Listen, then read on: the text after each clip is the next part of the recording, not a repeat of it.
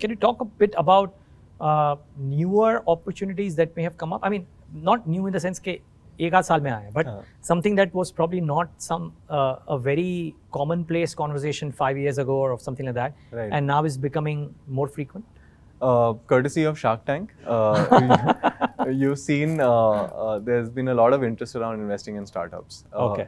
I think in some sense, startup investing has got legitimized, um, and we are seeing a lot of that happen uh, across the board. People are actually seeking out opportunities to invest in startups.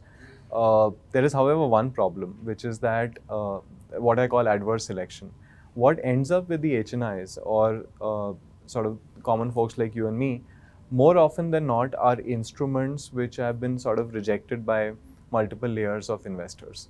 Right. So if I were a founder raising capital, I would first go to the top tier VC, then go to second tier micro VCs and so on. Right. Then if I'm not able to raise capital, I will end up with uh, individual investors, right?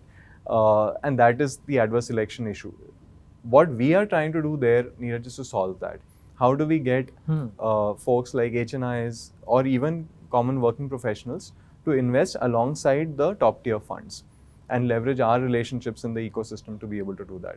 So, but having said that, in general, there is a lot of interest in uh, startup investing, backing early stage companies, uh, and I think that's very healthy long term for India.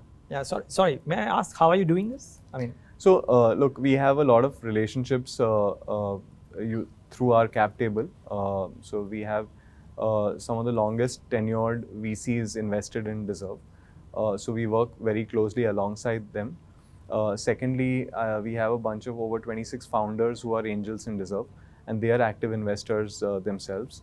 So, in a sense, this ecosystem ensures that we get access to the deals.